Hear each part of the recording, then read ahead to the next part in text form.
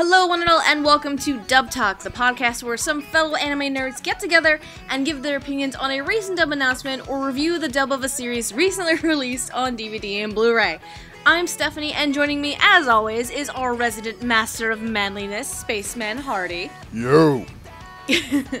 and as for our special guest today, this would technically be considered his second appearance on the podcast, but because of some um, technical issues we had with the prison school episode.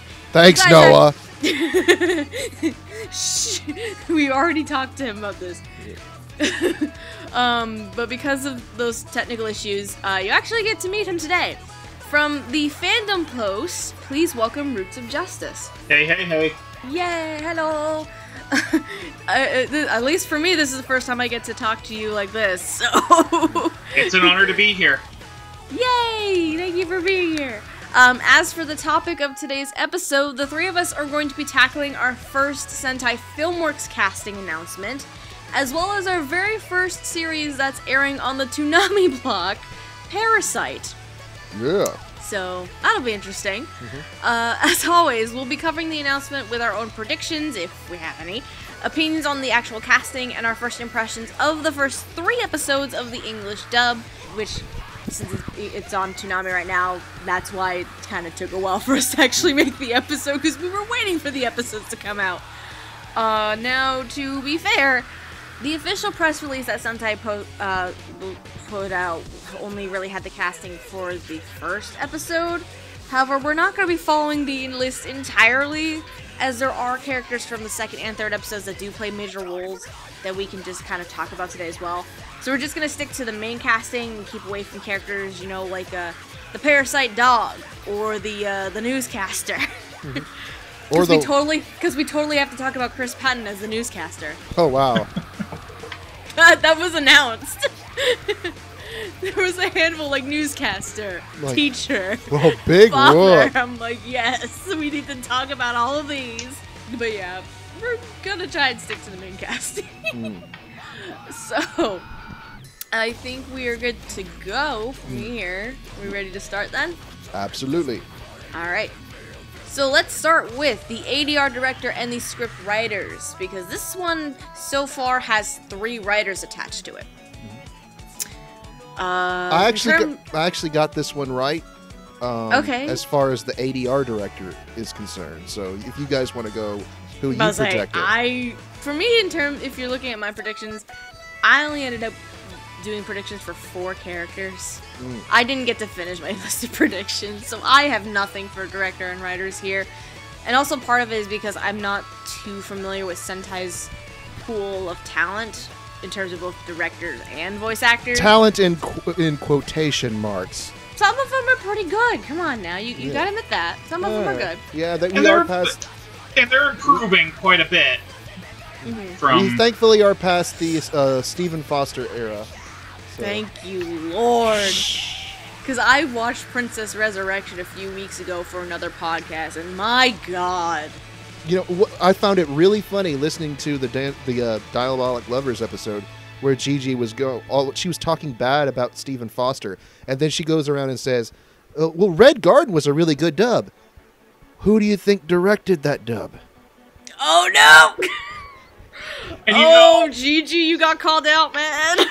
I should note that there are some Steven Foster dubs that actually ended up really good. In particular, Cromartie High School, and I actually did like the Devil May Cry dub. Um, also, uh, Les Chevaliers d'Eon was a really Mm. good one too. Chevalier Deon is a good one. I've never Yeah. actually seen that yet, and I It's, it's have a pretty good intended to for a while. It's a pretty good show. Yeah.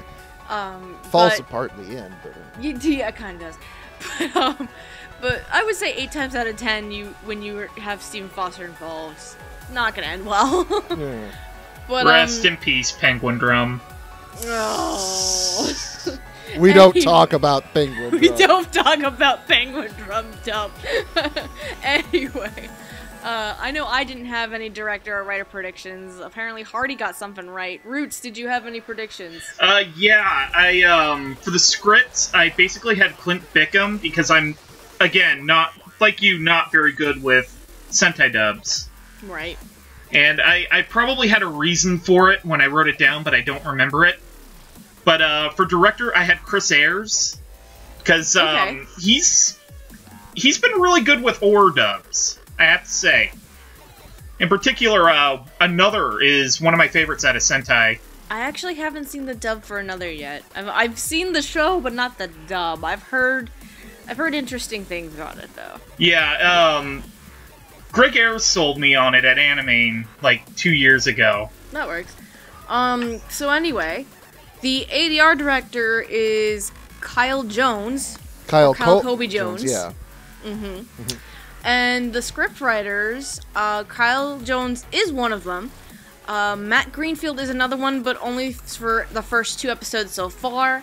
And Tiffany Grant is the third scriptwriter for the series. Uh, in terms of other work, Kyle Jones, he's very much well known for directing at this point. He's I uh, mean, he's he- been on a roll lately. He's Oh, just he's he's been on a roll, yeah. Like he does have voice roles, but a lot of it is just really, really small, minor ones. So I would say he's probably more well known for directing at this point. yeah. I mean, because he he's been directing so many of Sentai's big hits. Like Mm-hmm. he did Log Horizon, and then right after that he did uh, No Game No Life, and now No he's Game, No doing Life. and now he's doing Gatchaman Parasyte. Crowds. Gatchaman Crowds, Akame Akame to Ga Kill. Kill. hmm Yeah, He, he's doing a lot of the larger ones. Um, let's see what else. Uh, Kino's Journey. that was a good one. oh, He's the director for Kino's Journey. He is the director for Air, actually. interesting. Um, Hilder in the Darkness. That's another new one. I haven't heard anything about the dub for that yet. Well, that's the one that Jamie Marchi went to uh, Yep, that's her do. first her, her first Sentai show. Right. He, that's another thing about Kyle is he's he's good about he's sort of like the McFarland of Sentai, Sentai. film works in that Mhm. he brings in all this outside talent. And I mean, and he, I think he's um he's actually working with Rachel Robinson on a new dub. And so, Oh, really? and so, yeah, that'll be the first time that Sentai ever actually has an actress who used to be in L.A., then Dallas, then Houston. So, That'll be interesting then. yeah, And then he does have other eh, script writing credits. He also has a few other script writing credits for Akame ga Kill.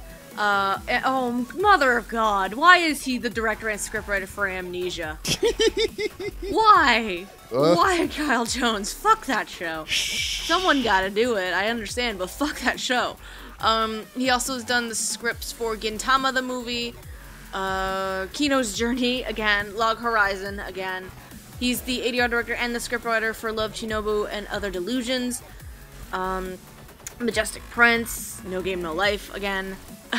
so he, he's done a good amount of their of Sentai's larger shows, mm-hmm. which helps a lot. And like you said, the fact that he's able to bring in some extra talent over from the Funimation pool, he, he is essentially the Mike McFarland of Sentai. yeah. His reach isn't as big as McFarland because McFarland brings in Canadian actors when he feels like it. Yeah, Canadian, like New York, freaking LA. He, he Mike McFarland is like everywhere. Yes.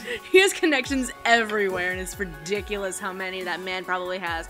But yeah, Kyle Jones, in a sense, is that same way. Um, and as for Matt Greenfield and Tiffany Grant, um, Matt Greenfield, he's done a good amount of scripting work as well.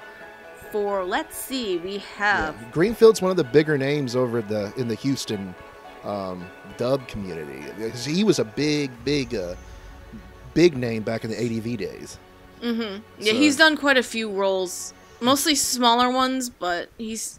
In terms of script, though, we have RahXephon. Oh, that's one I just spotted. Uh, we have let's see, the Wallflower, Vampire Hunter D for the the new Sentai dub. That's the OVA. Yep. Um, let's see, Noir. Um, He worked on TTS Airbats. Oh my god! and uh, let's not forget the elephant in the room here. Neon What? Genesis Evangelion. He was oh the fuck everything. Um, he's also done the script for Martian successor Nadesico, Infinite. Sh- no, he's a director for Infinite Stratos. Pardon me. He did the script for Gunsmith Cats Ooh, and the director for Gunsmith Cats, the OVA. Um. Oh fuck everything. He's a director and a scriptwriter for Gantz. Oh, That fucking mess. I actually kind of like Gantz. I only saw like clips here and there, and I'm like, I am never watching this shit. It's it's pretty bad. It's He's also the director and the scriptwriter for Excel Saga. that's One of actually impressive. favorites. Yeah. So that's so he has a good amount of credits there, and then Tiffany Grant. If you know Tiffany Grant, you probably know her more for her voice work, because Lord knows how many roles she has. In particular, though, Neon Genesis Evangelion is Asuka. hmm We have Asuka, but um, in terms of staff roles, she doesn't have a lot under her belt in terms of staff. Um, but it's mostly script writing work. So she's done scripting for Comic Party Revolution. Uh, let's see, Infinite Stratos. Uh, let's see what else here. Uh, Parasyte. Not a lot of scripting works actually. Tears to Tiara, Tiara, and um, The Wallflower Yeah. as well as Oh My Goddess Flights of Fancy. Um, so she has a few scripting credits, but you probably know Tiffany Grant more for her voice work rather than her writing work. Um, so how do we feel about this combination of script and directing for the show so far? honestly, in the three uh, dubbed episodes that I watched, I don't really have many complaints. Um, Neither do I, honestly. There were a few lines that I thought were kind of kind of unrealistic. Um, but in a, I mean, you can tell that they're really putting their efforts into this because it's on Toonami. Uh, Mm-hmm. You can't just I mean, if Akame ga Kill is the test, is the guinea pig for Sentai for Toonami, Parasyte is like Mhm. the big one, really. right. Yeah. So they ha- they do have to like at least be moderately careful with it, Mhm. so that way they can keep an audience and and get enough. I don't know. I don't want to say. What do I want to say? Like publicity or funds, so that way they can continue to put shows on Toonami. Mhm. Because Sentai, again, they're late to the party in the Toonami dub thing, but that's mostly because they probably didn't have the budget or the money to do it at the time. Well, I think also there were sort of, um, from what I understand, there was sort of like some animosity between Adult Swim, Williams Street, and and Sentai for, or the ADV crowd for a long time. I think that's Mm. just now starting to get cleared up, and that's that's basically just hearsay, anyways. But I think that might have had something to do with it. Right. There was also talk of like slot politics and all that. They were probably just looking for a place to put a Sentai show. That's fair. Anyways, Anyways, yeah. the thing I got, I was so happy about with the script. Um, I got excited that they kept the whole um, what was it? I think it's episode three, and uh, episode two or three, and the whole sexual mating situation. that whole shenanigans. Where Shinichi's in the bathroom taking a pee, and Migi's like, Shinichi, I need to test something. I want to make your sexual organ erect. And then Shinichi's like, what the fuck? Because, again, it was a thing in the Japanese, and I love that they managed to keep that, and it was fantastic. And the dude walks over to him and is like, "Dude, I can't take a pee if uh next to a guy talking to his pecker." yes. that was the best thing ever. And then there was also episode one with the uh, with the whole snake thing, or I think they called it a worm in the dub. I think, yeah, I think they called it a worm. But they still kind of kept the whole the whole joke in there, which impressed Yeah. me. I mean, I, I think in that case, calling it a worm rather than a snake, if because my memory of the show is bad and I haven't even finished the damn simulcast yet. Changing it from like, if they did change it from like snake to a worm, it makes a little bit more sense considering Shinichi at the time does not like bugs. hmm So it makes more sense And in it- terms of dub. It looks more like a worm than it does a snake anyway because it's so small. Right. Right. But I think it's doing good so far. hmm I know this for me, um, as far as I'm aware of, this is the first um, Kyle Jones dub that I'm encountering, uh, directed by him, and I think it's doing good so far. Yeah. He's def they're definitely off to a great start with the with the directing and the writing. Though there are occasionally the performances in the dub where I'm like, what the fuck? It makes me cringe, but those are just the small, small ones. Like the one-off ones that maybe have like a line or two, and it makes me like, why? Yeah. well, I mean, you find those in every dub almost. Yeah, you do. Like you're not gonna escape that. Mhm. Um, at least it's not as terrible as uh, the Princess Resurrection dub, where the little kid in the friggin' second episode, guy falls out of the tree dead, and the kid is like bluntly like, "Oh wow, he's dead." I'm like, "What the fuck?" as blunt and nonchalant as can be. But anyway, um, but that's a Steven Foster dub. Go away. but yeah, I think this is off to a good start, and I think it might potentially be in the hands of the right people. We'll just have to see how it goes from here. Yeah, especially with again, Kyle Jones seems to be the big director of Sentai at this point. Right. And he's been getting a lot of experience lately with some of the larger shows, including Akame ga Kill, which is another, again, Toonami show. So I think it's heading in the right direction as of right now. So, casting. so we figured out we want to talk about at least eight characters. And at this point, you could basically pair them off. So that's what we're going to do with all of them. we're going to pair all of them off. So we're going to start with um, Shinichi's parents, Kazuyuki Izumi and Nobuko Izumi. Um, I did not have predictions for these two. I don't know if anyone else did. Uh, for his dad, I didn't really have any predictions for his mom, but for his dad, I pretty much just threw a dart and said uh, it's, it'll probably be someone like uh, John Swasey or someone like that. I think John Swasey ended up being. He was a different character. He was a different character. He's the I think teacher. He ended, yeah, but he ended up being the teacher from the first episode. Mm-hmm. I was trying to think in my head, I'm like, wait, was that John Swasey or John Gremillion? Because there was um another character at the beginning of the episode, the the dad that's a parasite, and he's trying and he's like talking and eating his wife and all that shenanigans. Um, I think Mm-hmm. That's that John was. That, I was about to say it was. I was like John Gremillion or John Swasey. I'm like, there's too many Johns. Mm-hmm.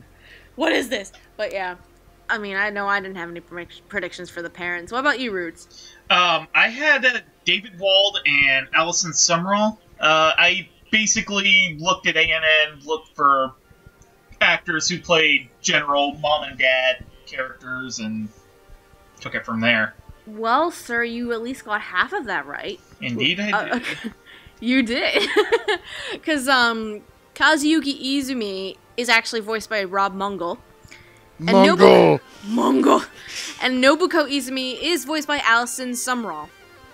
Uh, so Rob Mungle, which I real I found out today because I was like, I'm gonna look for headshots for these people because I know some of these I don't have. He's a freaking comedian too. Mm-hmm. So He's He- been he- around a he's long been around time. a long time. He has a nice long resume, Mhm. but um, he has he has credits for Akame ga Kill, so that explains a lot. Uh, Angel Beats, uh, let's see, Bodacious Space Pirates, Devil May Cry, Dream Eater Merry, Excel Saga. Oh my God, he's Pedro from Excel Saga. That's where I've heard him. I am in love now because Pedro is fantastic. Um, Golgo 13, Gunsmith Cats. What else? Kiba, Lady Death. He played the crazy thing with covered in breasts in Mardock Scramble. Flesh the Pike. If you've seen Mardock Scramble, you would realize. That's uh, I, I have the first film. I haven't seen it yet. I need to get Yeah. around to those. Yeah, he played Mister Eight in One Piece or Iragam. I- Igaram, Igaram. There it is. Oh, okay, okay. Yep. Uh, he's in Red Garden. He has done uh, Basic- the, super, the ba- Super Milk Chan show. basically if it was an ADV or Sentai dub, he's in there somewhere. hmm Even if it's not a major role, you know, that's why we kind of came up with the meme of Mungo. Because he's in everything. Yeah. Yes. But um, and then Allison Sumrall, she she has a decent amount too, actually. Mhm. Uh, she has done. She's been in Air. She's in uh, Angelic Layer, Azumanga Daioh, She was in the original Ushio and Tora OVAs. mhm, which- Comic Party Revolution. Uh, let's see what else. EF: A Tale of Melodies and Memories. Uh, Fate Kaleid Liner Prisma Illya. Uh, Girls und Panzer. Leviathan Last Defense. I'm just throwing out a few here. Maria Holic. Uh, Muv-Luv Alternative. Nobunaga the Fool. Uh, Phi Brain Puzzle of God. Uh, let's see. Saint Seiya, Super Gals, Tamako Market. Uh, Ushio and Tora, like you said, Hardy. Uh, and The World God Only Knows. So, both of these two have, have done a lot. Mhm. Rob Mungle, I do enjoy as the dad. Yeah. I I enjoy it Yeah. so far. Allison Sumrall, I think part of it's because I've never really heard of her before, but I'm kind of like, eh. I mean, I'm a little eh with her right now. yeah, Allison has one of those voices that just doesn't really stand out very much. No. Like, she, you know, that's why she plays a lot of maternal characters, is because, well, a, a lot of background characters too. Is she just doesn't have a voice that really lends itself to like main character status. Which is kind of interesting considering. Because I know Roots will understand when I say this. The story that happens with Shinichi's mother, though. Yeah. Because I don't want to spoil it for Hardy. oh, I know what happens. Oh, you know, you already know what happens to her Yeah, then. So your mother's spoil- died. Your mother so dead. your mother ain't living no more. So yeah, spoilers. Shinichi's mom dies. Sorry. Spoilers for if you haven't seen the show. Um, considering that, I'm curious to know what's gonna happen afterwards. But at the same time, I'm like, I don't know if it's gonna fit. Cause when I was watching the Japanese, Shinichi's mother in the Japanese, it was memorable to me. Bitch made me cry when she when she died. So I and so far, Sumrall, I don't, I don't know.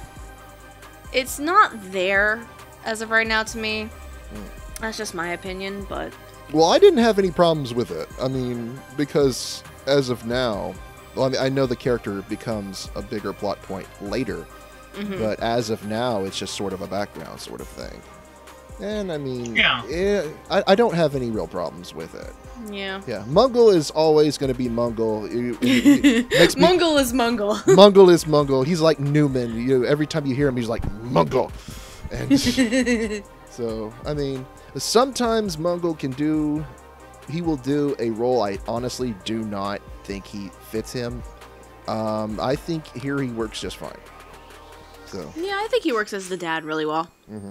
I mean, for the time being, for the episodes that the three of us have watched, they're both the mother and the father are basically shoved into the background, and Yeah. right. Which, which in that regard, it makes sense. But again, I'm in, in the case of Sumrall, I'm curious to know what's going to happen with her performance when he gets to the point for the mom.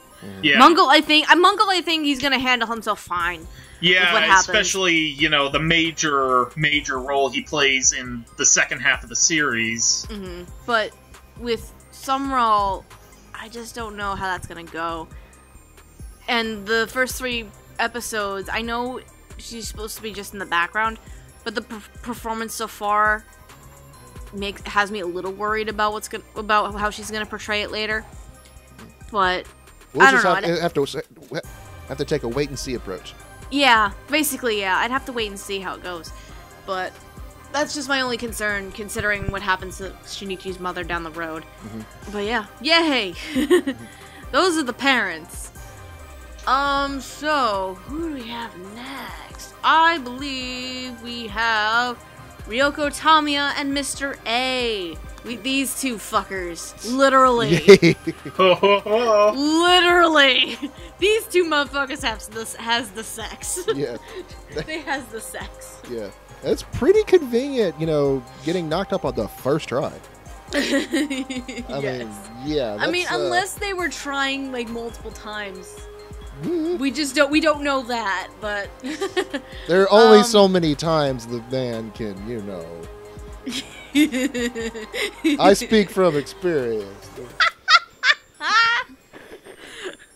because we're totally yeah, gonna have sex yes. conversation right now. right? Yes. When yeah. a mommy and daddy love each other the very spirit, much. yeah, the spirit is chicka, chicka, willing.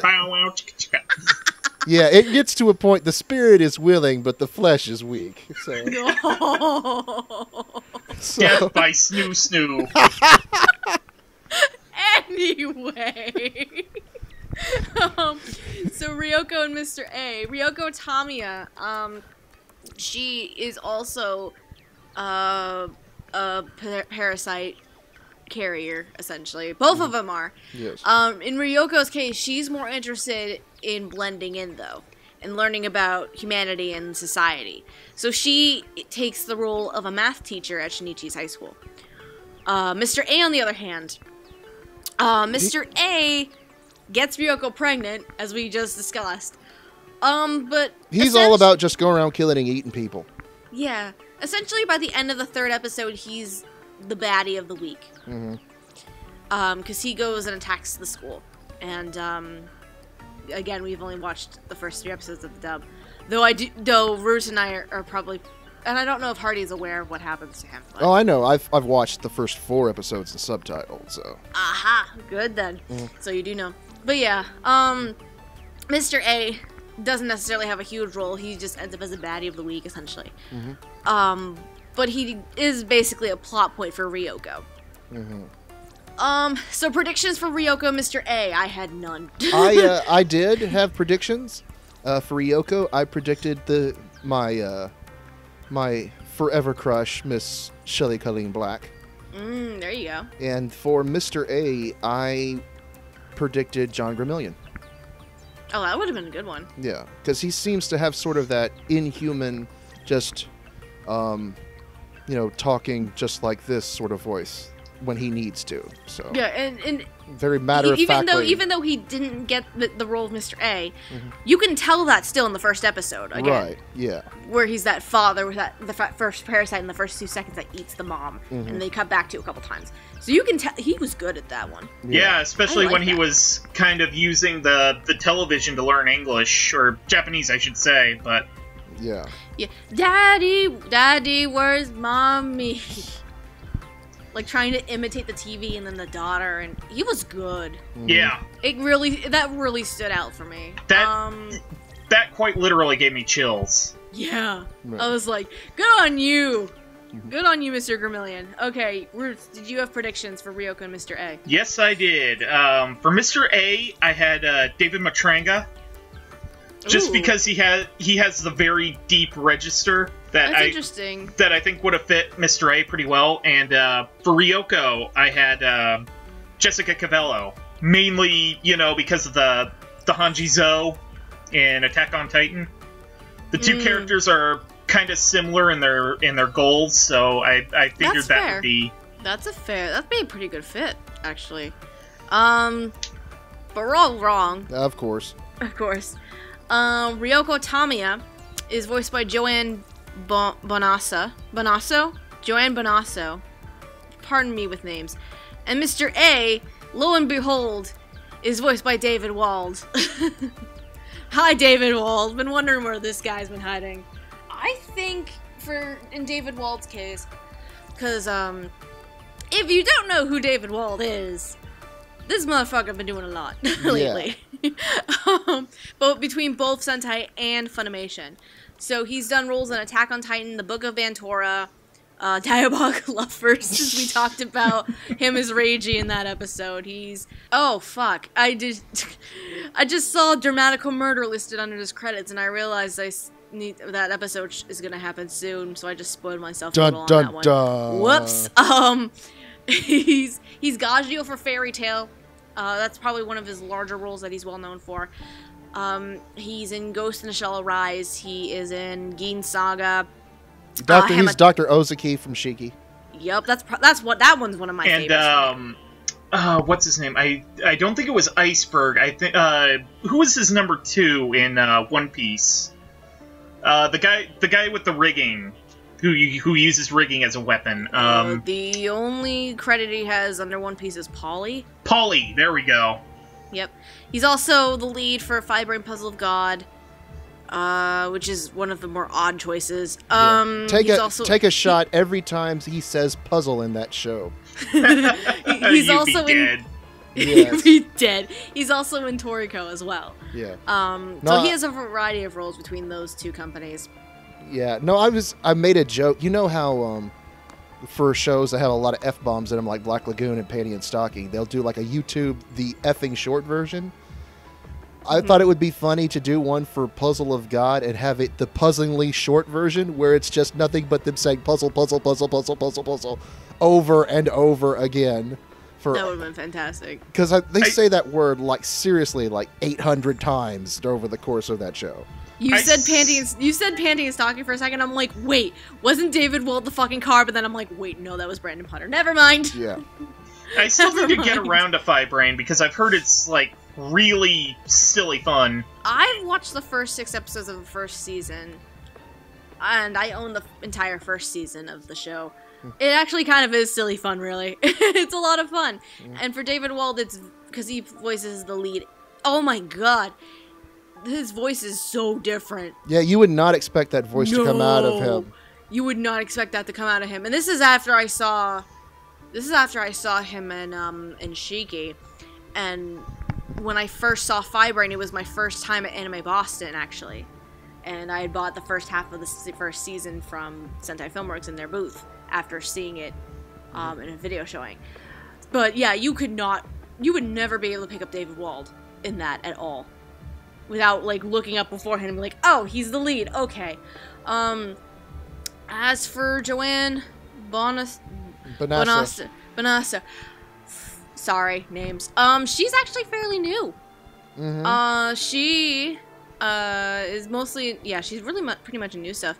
She has done Black Bullet. She was recently announced actually for Chaika the Coffin Princess. Uh, Devil Survivor 2, Dog and Scissors, Fate Kaleid, uh, Ghost Hound, Kanon 2006. Uh, she was the lead character in Venus versus Virus, that terrible Mm-hmm. show. Oy. Um, and then she just has a variety of small roles in Air, Sunday Without God. She's the grandmother in Supersonico. Don't get me started on that, Doug. Why do you think I brought it up? No, I'm kidding. Um, and she's also done roles in Red Garden, uh, Gatchaman Crowd, small things like that. So she's still fairly new.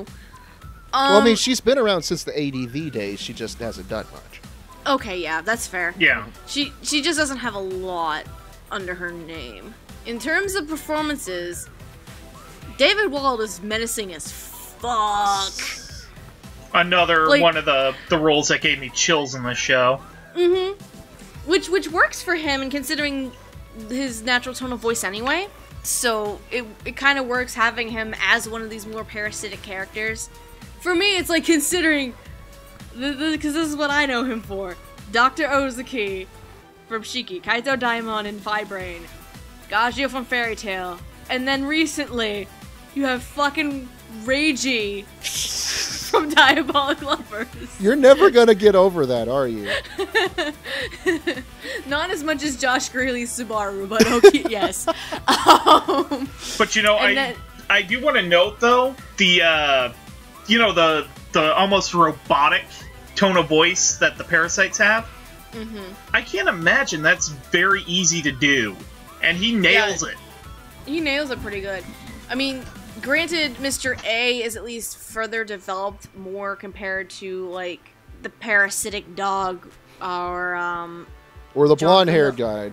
or the blonde haired guy or John Gremillion's character for like five seconds in the first episode. But he still has that quality to him, a little bit. Right. So, for David Wald and Mr. A, menacing as fuck. I'm like, dude, who are you? I used to like you and all these awesome things, but now we have You scare me. we have we have what? We have sexy sounding David Wald in Diabolik Lovers. Now we have a menacing bastard in Parasyte. So I'm like, what is going on? But I'm I'm okay with it. It's it's nice having it- some variety and versatility. That's Besides, he's only around for two episodes anyway, so. true. you may as well have fun with it. As for jo- Joanne, because I am not even gonna try pronouncing her last name again. Um, I think it was good.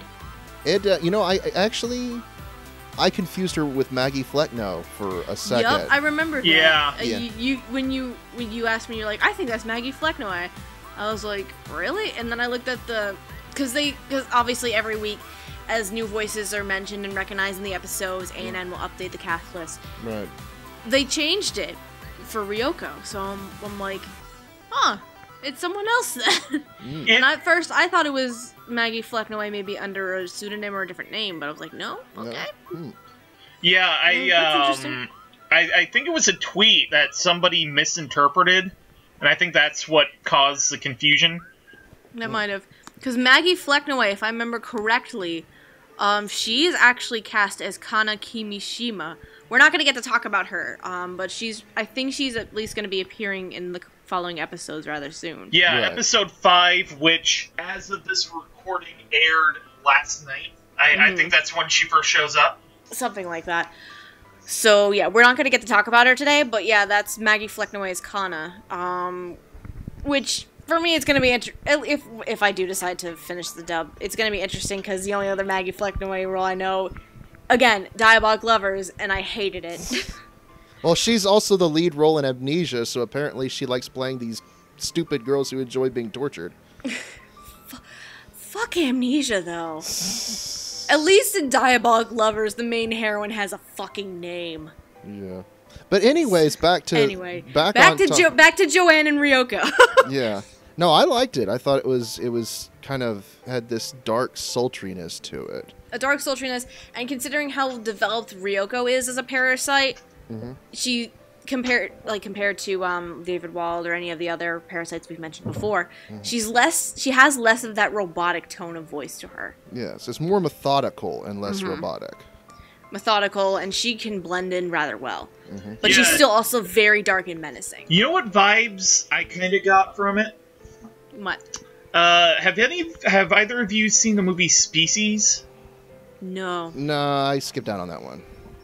Oh, are you talking about um, what was her name? Six, I believe it was. I Natasha- I want to say Nata- that was it. It was I. It was a Natasha long time ago on Sci-Fi Channel. That's like I wouldn't know.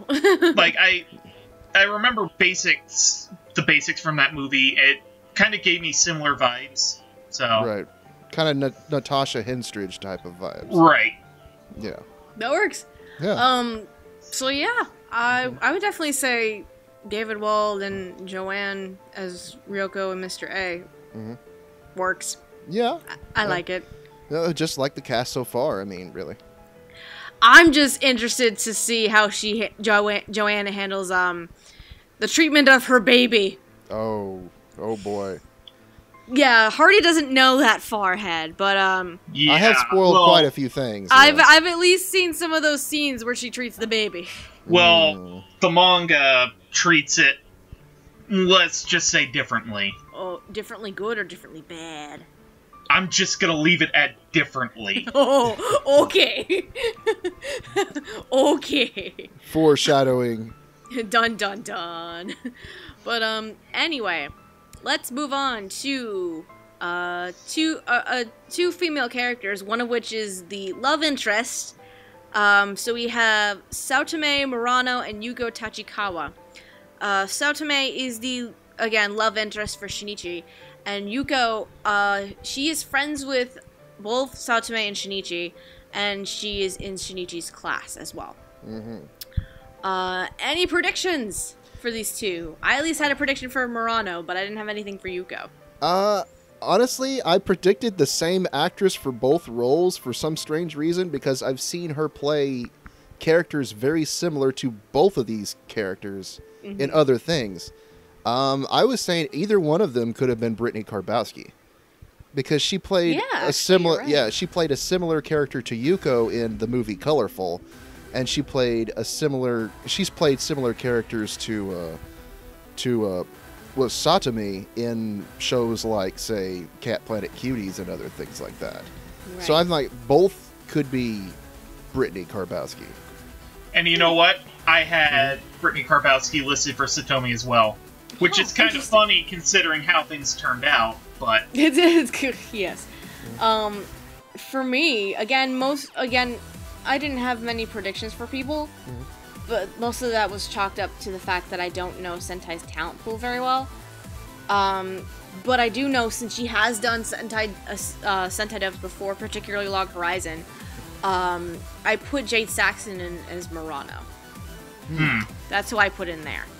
Um, Yuko, I didn't have anything. I couldn't think of anything off the top of my head. I Um, I had Hillary Haig down just because you know That's fair. Yeah. So Hillary, Hillary Haig is uh, ended up as a different role actually, another classmate of Shinichi's if I remember correctly. Yeah. Um, so who ended up getting those roles? Yuko Tachikawa is Terri Doty, and Satomi Murano is Lucy Christian. So Terri Doty, uh, she has done, she's done quite a few things Yeah, at she this point. she started out in the background, um, like on staff for the most part. Mm-hmm. But uh, and she hosted the that anime show, which was a podcast with J. Michael Tatum for several years. Right. Uh, but um, just now she's starting to get cast in more and more things. So Yep. Things such as Assassination Classroom, uh, Corpse Princess, Dance in the Vampire Bund, uh, Laughing Under the Clouds is probably one of another one of the more recent ones, along with Assassination Classroom. Uh, Muv-Luv, Okami-san and her Seven Companions, uh, Shikabane Hime. she was in Level E as the kid who looks like Gon. From, yeah, uh, part of the reason I wanted Yep. Funimation to get Hunter x Hunter. Yeah. Yep. She's also an Ultimate Otaku teacher as Makina's younger brother. Uh, she's also done. She's also done a variety of smaller roles in Tokyo Ghoul, Show by Rock, uh, Panty and Stocking, uh, Level E, like you said. Uh, but she she's slowly been getting a bit more exposure and a bit more ground between the two studios. And in her case, I think it really she really works here. I think she's good for this particular character. I've I've relayed my issues with Terri Doty in the past. Mm-hmm. Is that I think, along with Ryan Reynolds, she's much better at playing little boy characters than she Yep. is at Yeah. actual wi- actual female characters. Because Right. I listened to her in Corpse Princess, and she was so bland. It was just bland city. And, and now that I can listen to her as a female character, and it sounds better, I think it's just she didn't have much experience back then.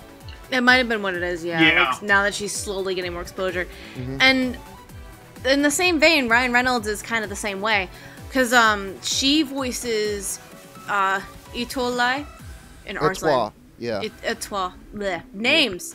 Well, Um, and there's something to that too. Right. That uh, kind of spoilery. S- Okay, spoiler warning. Mm. This this kid who's a knight for Lis Lis ah fuck That's for way. this yeah. Lis- Lusitania. There he is. yeah. Lusitania, supposedly a boy, actually a girl.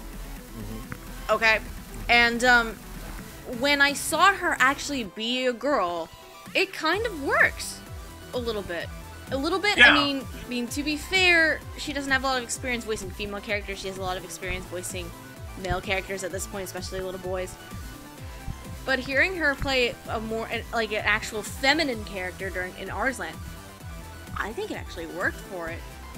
But anyway, I digress. Um, but definitely Terri Doty here, I think it worked because Yuko is a little bit nerdy of a character, and for Terri and her particular voice, I think it works. Yeah. Are a- you saying I Terri's agree. a nerd? Are you saying Terri Doty's a nerd? No. Yeah, you are. Yes, I am. I, I open I openly admit I'm a nerd. I don't give a shit. Yeah. It's like It is hey, going to my- be interesting how she takes the character moving forward. Because Mm-hmm. um, she does get a much bigger role in the series in the second half. Uh, and as for Lucy Christian, what needs to be said at this oh point? my lord, Lucy Christian! If you do not know who this woman is, then You don't shame watch on anime. You. Yeah. you you've never seen anime before. Shame on you. yeah. Um, let's. Oh god, long list. She's been in Air. She's been in Angel Beats. She's been in Bamboo Blade. She's been in Birdie the Mighty. Uh, fuck you, Eloise Trancy. Black Butler too. Yeah. She's Nami. Yep, She's- Nami from One Piece. That's probably the largest role that she's known for. Um, but there's also Clannad, there's also Corpse Princess again, uh, D Gray Man, Demon King Daimo, Desert Punk, Fullmetal Alchemist. Oh god, so much. Full Metal Panic. Full Metal Panic. Yeah. Oh lord, She- Log Horizon. In terms of sheer number of roles, Lucy has is second only to Monica Rial. yep. So She's also Duck from Princess Tutu. Mhm. Uh, I'm trying to find major roles. She's in Sergeant Frog. She's in Shiki. She's Medusa from Soul Eater. she's pretty much in everything that, that's a Texas dub. Yeah. She she took over the role from Meryl Stryfe in the Trigun film. Uh, any other ones? The World God Only Knows. You get the point. You get the point. This woman done a lot. hmm But in terms of uh, Murano, it's not what I expected. Oh, to be really? perfectly honest. I don't know. I feel kind of iffy about it. You think she's just phoning it in at this point? I wouldn't necessarily. I don't want to say she's phoning it in. I don't think she is. It's just considering the personality and the character of Murano herself. Lucy's voice just doesn't seem to fit, Hmm. in my opinion. Yeah. And I love Lucy Christian to death. She's one of my favorite female voice actors actresses ever. But in this role, I don't know. Maybe there's an adjustment period that I need for it. But right now, I'm kind of meh. It just seems like Lucy is just being Lucy. Right. I feel like there's Nami vibes coming in when there shouldn't be. See, that's why I originally predicted uh, Brittany Karbowski because I think, I think she might have, she's played these types of characters before, and uh, well, I mean, See- so has Lucy as well. But I mean, I think See, where I had Lucy, I actually had Lucy in my predictions for two different places. I had her as a second choice for Migi, and then I also had her for Kana. I also had her for Kana. hmm I felt like with Kana's personality, Lucy would fit in a, but, a much better compared to Murano. I mean, I have no real problem with it. I mean, it's just, it's another Lucy Christian role. So, hmm I mean, uh, so I really have nothing to say. My general thoughts on the dub in general for everyone is it's okay. Yeah, Yeah. basically. yeah, it, it serves its purpose. It doesn't offend me. It's just, well, I mean, it's the same thing I have with like a dub for Sword Art Online. I hate that show, but the dub is okay. The dub Yeah. does not offend me. So, I mean, you're you're gonna have your spectacular dubs. You're gonna have your um, your bebop, and you're gonna have. Well, I mean, you can't even have bebop anymore. That's that was like a Damn! yeah. But um, I mean, you have your, your current shows coming out like Blood Blockade Battlefront and whatnot, and these are just going to be noteworthy, spectacular dubs. Basically anything directed by Mike McFarland. And occasionally Christopher Bevins, I will say this. Mm-hmm. Because ping the, the dub for Ping Pong the animation, though, Mm-hmm. that's a good one. Right. love Yeah, that. I'm really, I'm really liking Chris Bevins' dubs these days. hmm Mhm. He's doing amazing work. And you know, I didn't even have a problem with them in the early days of Funimation either. Like Samurai 7 was probably one of the best early Funimation dubs out there. Right. But he's really I don't know what happened all of a sudden, but Chris Bevins is really coming into his own. hmm I would definitely say Ping Pong. Arslan has been doing much better lately. Um, Gangsta for what it is, it's a good dub. Mm-hmm. Um, Probably yeah. probably the best of the summer broadcast dubs. well, that's uh, that's not much of a competition, all things considered. Well, yeah. Well, it's certainly better written than uh, than Prison School, which for obvious reasons. But uh, but 'Cause- then you also had Sky Wizards Academy, yeah. and I Well, think, and I think Which for what it No. was was an okay dub, but for yeah, what it is, Felecia yes. was a goddess to stick with that dub and make it actually watchable. all hail our wonderful adult Felecia Angelle. Yes. All hail. but yes, And I hope she does get more directorial work in the future. Because she, you know, she really did a good job with Sky Wizards, I, I do have to say. what I'm kind of hoping for, because I know at the time of recording this, um, the announcements for castings for both Noragami and Attack on Titan Junior have not come out yet. Mhm. Um, I- I would though to be not- f- to be fair, they're probably going to be the same casting. But what I'm hoping for is a situation like with um, Christopher Bevins and Jeremy Inman between Gangsta and um, Arslan because they were the uh, director and assistant for both. I'm kind of hoping because Felecia has worked with Mike McFarland on Blood Blockade Battlefront, they'll be a director and assistant on both shows so they can go back and forth between them. Mm-hmm. That's kind of my hope there. Yeah. But anyways, we're we're getting We're getting off track again, Yes. like always. Yes. What else is new? Keep it together. Keep it together. Keep it together. what else is new? Yeah. We derail all the time. Yeah, this is dub talk. It's derail talk. we we just need to add the goats and Master Keaton and we're good. Yes, it's like rails where we're going. We don't need rails. Multi-track drifting! We're not even on the Mike McFarland train today and we're all over the place. It's great. we're on the Kyle Jones train. That's where we are Hey- today. Hey, Lilac. Like, Yes. guess what? What? Teletubbies. Oh fuck. We're feel not like talking I'm- about sh- we're not talking about show Shomin sample right now though. we can bring it up when we talk about Shomin Sample. Nah. We'll bring it up again. I Just for feel like you, I'm Rude. walking into something here. You don't Um, want to know. Well, no, Actually, you uh, do. I'll was- tell you I think later. It, I think it was either the it was either the Blood Blockade Battlefront episode or the Seraph episode where they came up. But yeah, we'll, we'll tell you the story later. Um, anyway, back to Lucy. Personally, it's kind of meh to me right now. It's not bad, but at the same time, it's it's Lucy Christian being Lucy Christian. You know, I'd have to agree on that, but it's not quite square peg round hole. Right. Like It's- it it's like a- it mostly works, but you know, sometimes, like you said, you do catch a little bit of Nami or hmm one of her other roles that doesn't quite fit. Yeah. It's like getting a pizza from Little Caesars. It's not the best, but it it tastes okay and keeps you going, I suppose. Yeah. Uh, Basically. you know, I'd go a step up. Mm, Get Let's Pizza go a Domino's or a Pizza Hut. Yeah. Because it is Lucy Christian. We know yeah. sh- she has the talent, right? Right. We know Lucy Christian is capable of amazing work. Right now, it's just not there. right. And it may, you know, later It in the may get series better. at that point. It may get better. Um, though, again with Terri Doty, I love where Terri Doty is going with Yuko right now, Oh yeah. and I can't wait. To, I can't wait to see what she plans to do with it next. So I'm excited there. yeah, especially with the second half of the uh, of the first of the first half of the series, uh, the second quarter, I should say, hmm and uh, and the end of the series, because that's when she her character really comes into her own. Yeah, it'll be interesting to see where it goes. So I guess it's safe to say we should move on to our final two. Oh yes.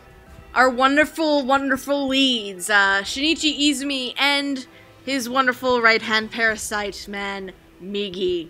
Mm-hmm. His right, literally, his right-hand man. But um, but oops, I'll see myself out. Uh, those two are just inseparable, you know. And good night, everybody. We're here till Thursday. Try the veal. I'll be here all week. It's Um, just like Nina Tucker and her dog. Oh, now you need to get out. Get out. We're not bringing Nina Tucker into this again. You couldn't separate them if you tried. Oh. For I fuck's sake. I get Vault. anyway, Shinichi Izumi is our wonderful lead male character. Um, and Migi is the parasite that basically occupies his right hand. Uh, Master- in- insert masturbation joke here. yes, this is Midori days all over again.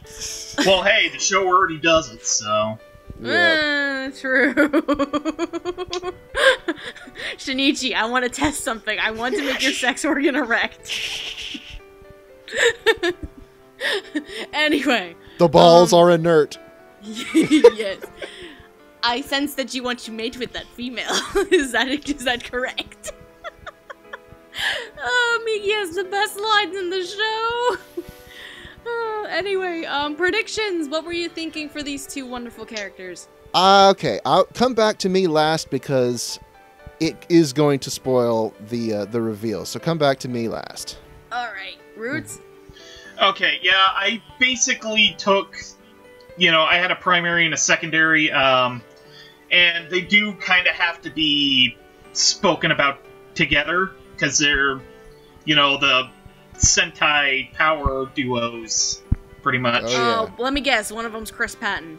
Uh, my secondary was Chris Patton and Lucy Christian, Mhm. Oh, okay. That and my primary, mainly because I had listed Chris Ayres as a director, um, Monica Rial as Migi and Greg Ayres as Shinichi. That's an, that, those are interesting combinations. Um, I will say, with your Migi predictions, I actually had the same two people for Migi. I had Monica Rial first and Lucy Christian second. Monica Rial, for obvious reasons, she can do really, really odd voices. Yeah. So she she would be like the like stereotypical answer if you were to predict something. Lucy Christian, I felt like she could also go there if she wanted to. Um, as for uh, Shinichi, I only had one prediction for him, but again, this is partially because I don't know Sentai's talent pool. Um, I put Josh Grelle as Shinichi. Um, because I know he's worked on several Sentai shows at this point now. And Josh is actually pretty good at playing completely broken human beings. This has been brought up several times.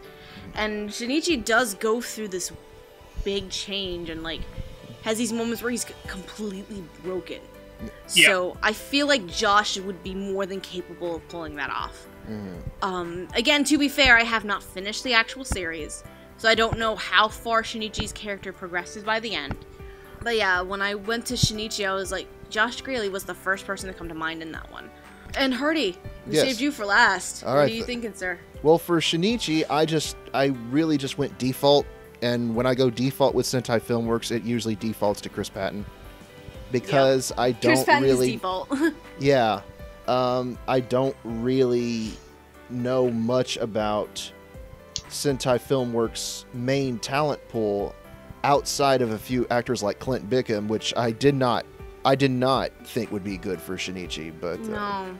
But yeah, I just- I like de- the, the little I heard of um Mhm. Clint Bickham because he was announced to take on a role in um the lead role for uh, Beyond the Boundary. Mhm. That little um clip that they showed that that I put on YouTube, I was like, because I was listening through some of them to come up with potential predictions for um Dramatical Murder. Not to actually, say I was I, like, no. I don't. Not to say I don't like Clint Bickham. Uh, I have he has his good roles, but I don't think he would have been good for Shinichi. No, it wouldn't have been a good fit. And so that's why I default to Chris Patton. You know, I look at Right. the artwork of of both Shinichi in the beginning and later on when he sweeps his hair back, and I think Cl- Chris would have been good to play both of those two characters. Mm, eh, I don't know. I mean, it depends on if what the kind of situation that he's going with.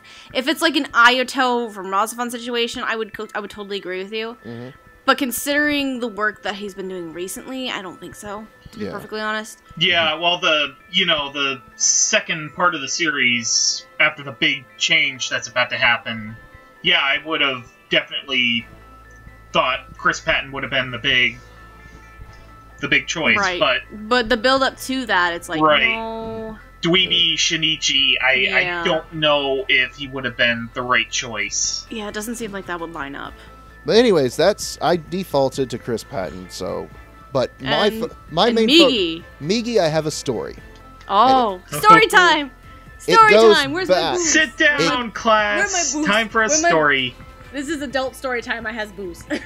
All right, it's not that big of a story, but this is my this is the way things happen. okay. When Watamote was coming out, we all were wondering who was going to be the voice of Tomoko. Mm-hmm. And what they did, Sentai Filmworks put out this trailer that was English narrated for the Anime Network. Right. And in that trailer, the narrator, or Tomoko herself, was voiced by um, Brittany Karbowski. Right. And so everyone jumped to conclusions and said, okay, it seems that Brittany Karbowski is going to be the voice of Tomoko in the Watamote dub. If the dub, they were still, they were saying, if it gets a dub. As it turns out, that was Monica Rial Right. for the Watamote dub. yes. Fast forward to this year, and we're all talking about who's going to be in the Parasyte dub. I predict, you know, I think Monica Rial would be really good as Migi. Right. And I even told her this on Twitter. I think you would be really good, and she favorited it and said thank you and all that. Because I think she, I, I do think she would have been a really good choice. It turns out it's Brittany Karbowski, yes. and so they've both of my predictions were dead wrong in both cases. T- so It's really interesting that you bring up the whole trailer thing because um now the suspicion is on for um Monthly Girls Nozaki Kun Oh, it, it's, it is that gonna, is getting a dub, yeah. and in the Anime Network trailer, the person who voices over um, Sakura is Monica Rial. Mm. So the suspicion is going to be very strong with that one. Um, but yes, as you have mentioned uh, just now, uh, Brittany Karbowski voices Migi, the right hand man of Shinichi. And um, as for Shinichi himself, that is actually he is actually voiced by Adam Gibbs. Ooh. Uh, we'll get to that. Uh, Brittany Karbowski, um, she's been around for quite a while. hmm Uh, you may have heard her in Akame ga Kill, if you're looking for something else that's very recent. Uh, Angel Beats, Beyond the Boundaries, another recent one. Uh, Certain Magical Index. Um, She was the goddamn Maho. Ugh, and Penny Pony Dash. Yep. I could not Uh, stand that role. Oh, She's in Le Chevalier d'Eon. She is in. Where are you? Um, she's Wendy in Fairy Tail. Uh, she is in Ghost Hound. She is in Haganai. she's Black Star. Black Star from Soul Eater. I was gonna get to that eventually. High School of the Dead. Um, Infinite Stratos. Jormungand. She's done quite a quite a lot. She has a good amount of credits to her name as of now. Brittney is to the ADV days what Bryn Apprill is to Funimation these days. Right. She got her start really young, right out of. Well, I think she was still in high school when she recorded Gilgamesh. Mm. So, so yeah. Ever since then, she's been, she's been just you know in role after role after role, and I think Bryn Apprill is the new Brittney Karbowski in that sort of sense. In that sense, I can probably agree with you. Yeah. Um, as for Adam Gibbs, he is very new. Um, here is his list of roles. Uh, literally, Akame ga Kill, Appleseed Alpha, Beyond the Boundary, as uh, Hiromi Na- Nase, uh, Black Bullet. God damn it, I'm splitting myself again. Dramatical murder. um, Grave of the Fireflies, Hockey Den, uh, Hakuoki, Hamatora is nice. Oh, that's another one I gotta see then. Harlock, uh, Space Pirate of the movie, Heaven's Memo Pad, uh, Hirono Kakara. Kakura, uh, Horizon in the Middle of Nowhere, Kamisama Dolls, Magical Warfare, Mardock Scramble, the second and third film, Parasyte, Penguin Drum, Say I, Say I Love You, Towa, Towa no Quon, whatever the fuck that is, Tsuritama and Un-Go. So he is still, he's, he's been working with Sentai probably in the past, I would say in the past five to ten years. Not even Um, that, really. Not even that. I'm I just don't trying, think I'm just trying Sentai's to been gauge. around for ten years. Oh, that's true. I'm just trying to gauge it, considering like Un-Go is is one of their older ones. Mm, On Ungo Go was and Tsuritama is when 2012. Oh, shit! Really? Yeah, Wow, my sense of time is terrible. yeah. Um, Honestly, I think the oldest thing on that list is probably Apple. No, not even Appleseed Alpha. That's been recent. Um, Yeah, that was um, that was I like a can year get- or two ago. yeah. No, I'm confusing it with Appleseed Ex Machina. That's right. yeah, I if think any, if anything, I would say it's possible because Sentai has been re- re- relicensing things Mhm. and rescuing things. So it's kind of hard to gauge what what dubs are old now Right. with Sentai because they rescue a lot of things. Well, yeah, I'd say the God oldest thing. them. God Yeah. bless them. Yes. Yeah. Higurashi, God bless you. Honestly, Un-Go probably is the oldest thing here, and it's only 2012. So I mean, it's that's that show is only three years old. Yep. So yeah, Adam And- Gibbs is uh, very very new. Very, very new. And you want to know who he reminds me of? Who? I think I know. Austin Yep. Tindle. Yeah, I mean, Jeez. Gee, I mean, it doesn't help that considering if you put, because again, we're gonna take Tokyo Ghoul because Austin Tindle is Kaneki in Tokyo Ghoul. It doesn't help that Tokyo Ghoul and um, Parasyte they have a decent amount of parallels to each other, with Shinichi and Kaneki being one of the larger ones in terms of their characters. hmm And both of them sound like Adam Gibbs sounds so similar to Austin Tindle. It's not even funny. um, kind of a funny story. Um, I had basically done a cast list for just about every major studio for Parasyte.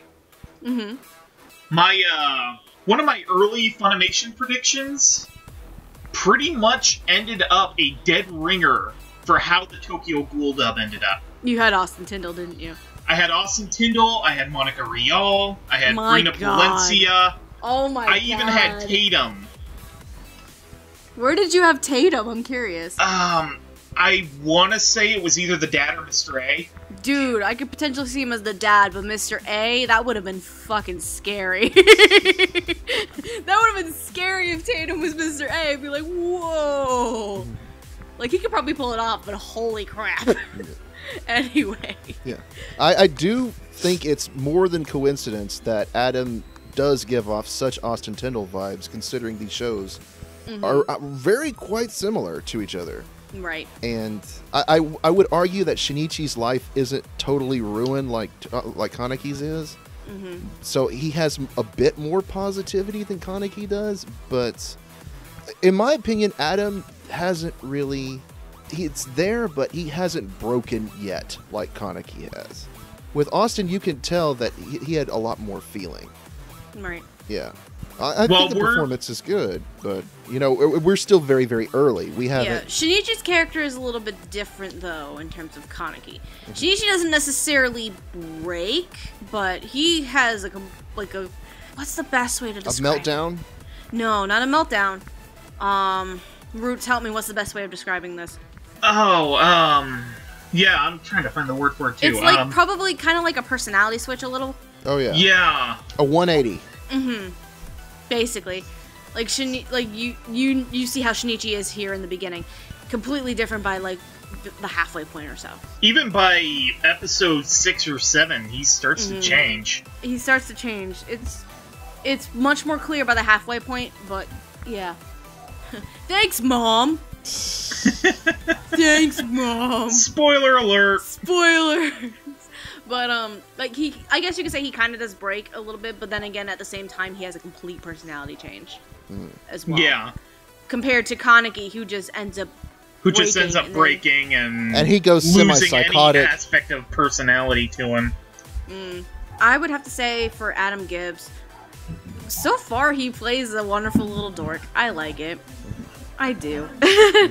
Yeah, um, and again, Austin Tindle vibes. I, I don't know if that helps or hurts him a little bit though, because with Tindle, I mean, before this year even started, I wasn't a huge Tindle fan, but now I'm a huge Tindle fan. Right.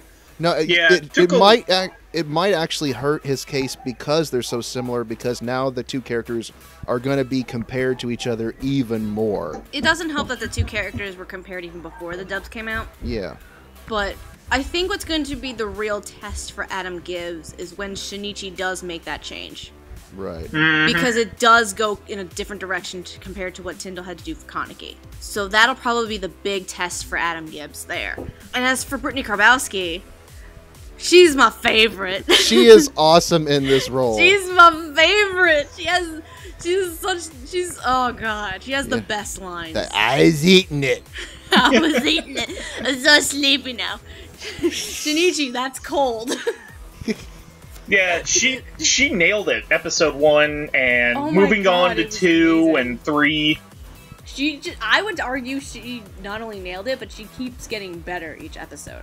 Yeah. As Migi is developing and Exactly. becoming smarter, um, yeah, you can really tell that that her voice is is developing along with it. Mm-hmm. Yeah. Yeah. Easily, Migi's easily the best performance in this dub, and someone might Easily. Might argue that she sounds too robotic. That's the point. Yep. That's Migi, the point, Migi yeah. is an alien parasite who does not understand emotions or It's it's basically there's that part, and then like the development of the parasite. It's like if you have a parasite is like an infant baby, Mm-hmm. and they're Right. growing and developing into an adult in a sense. It's the same idea.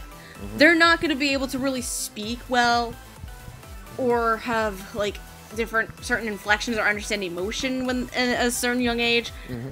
And then as you keep growing, you start learning and you start developing. The more you find out, and you de- and yeah, and you develop basically. And with Brittney Karbowski, she is doing that with Migi.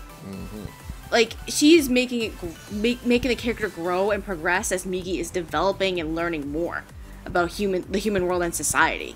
And I think it is absolutely wonderful. I easily the best it. part of the dub. Yeah. Absolutely. And again, Migi has the best lines of the dub so far. again, Shinichi, I need to make your sex organs erect. That's still my favorite line of the first three Like episodes. Sh- Shinichi, I'm detecting bl- urine in your bladder. It is not healthy for you to hold it in.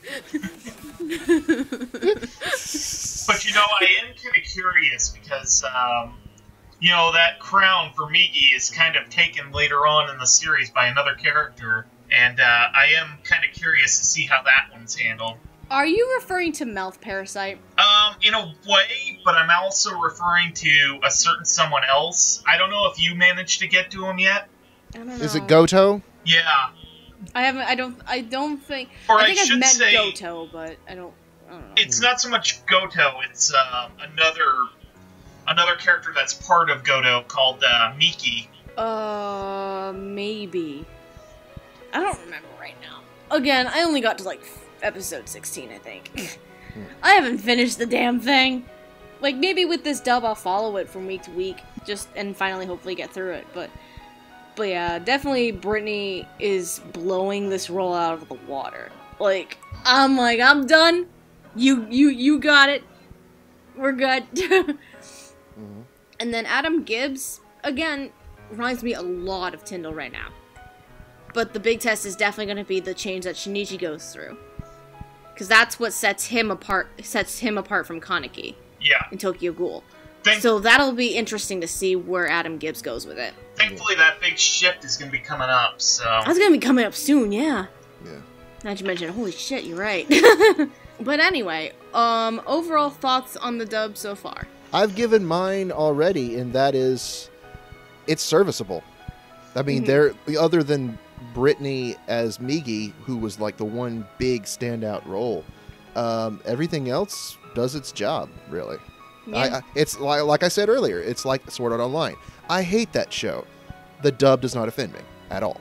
The Right. dub, it just it does what it needs to do, and so that's, you know, you're you're like you said, you're going to have your big, huge master dubs, and then you're going to have the ones along the way that are just, you know, okay, I could deal with this. It, it I'll say this, it doesn't offend me, or has not yet.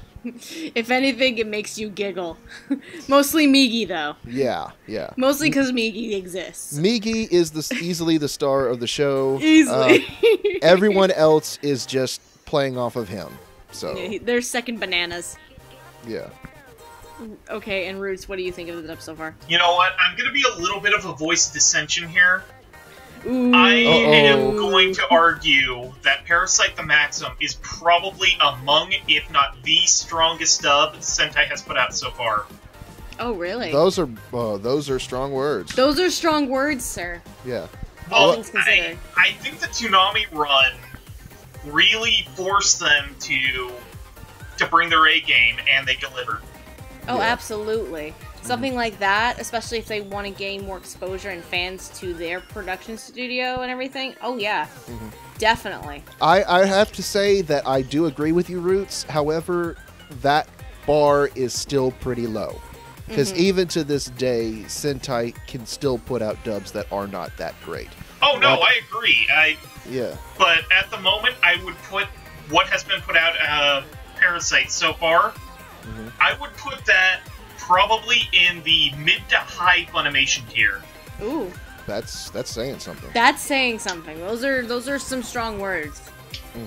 Let's hope it keeps it that way. Agreed, most definitely.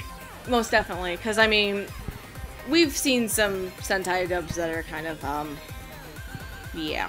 Yeah. But that's mostly Steven Foster's fault. Well, yeah. Well, I mean, Mostly. well, I mean, or Janice Williams, or um, or Chris Ayres on occasion.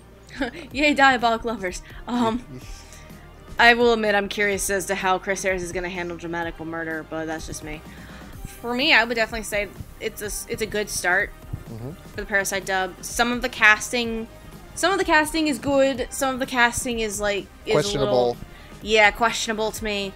Um, and some are gonna are in the whole I gotta wait and see category. Uh, especially Adam Gibbs and Lucy Christian. Those are the big two. I just gotta wait and see on. Um, see where it goes. Yeah. Though again, Brittney Karbowski wins all. Yes. she wins all. But yeah, I would definitely say, as of right now, this is one of the stronger Sentai Filmworks dubs that I have seen. Yeah. Um, to, granted, unfortunately, that's not saying a lot, all things considered. They But- are getting better. They are they getting are better. getting better, and like Root said, I think the whole Toonami broadcast is pushing them to start really working towards like Mm-hmm. grade A products. Yeah. I think with that, and I've seen maybe one or two episodes of the Akame ga Kill dub, and that one's pretty good. So been doing pretty good. Uh, then again, I only saw the first episode or two. I think, yeah, the Toonami broadcast is kind of helping them push towards improving a hell of a lot better. Right. Yeah. So, and again, I'm just hoping it stays that way. Yeah. Was I recently watched uh, what was it, Outbreak Company, recently, and that dub was surprisingly solid. Mhm. I think you know I think that might have been a Kyle Jones dub. I've heard some dubs from Kyle Jones that were not that great, Right. but uh, yeah, he did Yeah. direct. He did direct Outbreak Company. Because I also recently listened to No Game No Life, and I thought it could have used a lot of work. So yeah. but that was mainly But- because of him trying to use. Well, Caitlynn French is not a good voice actress at all, uh, in my personal opinion. No offense, but uh, but I mean, just, just it's mainly from him trying to use new talent, and new talent is always good, uh, but some of them aren't that great. So, Yeah, Yeah. sort of the diamond in the rough. mhm. Right.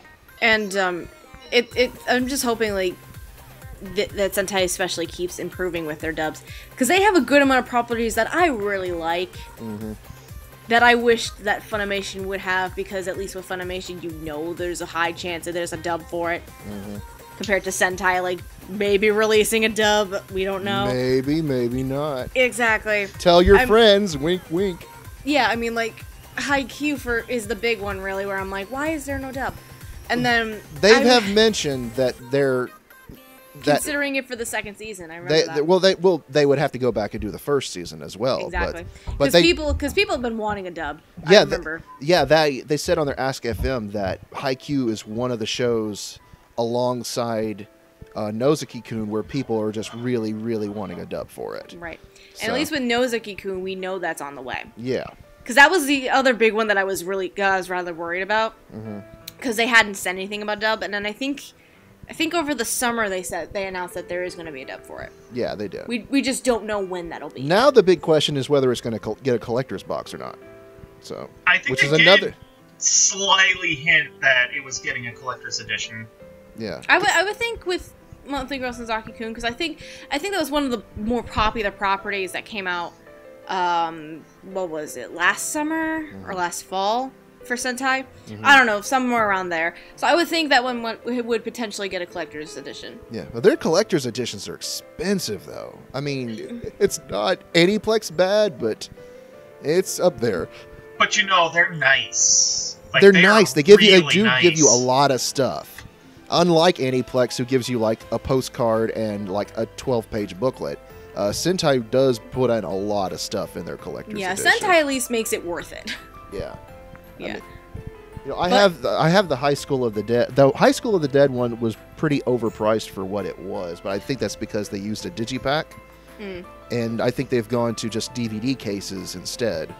But um, but yeah, they are nice for what they are. They're just they rape your wallet. That's the problem.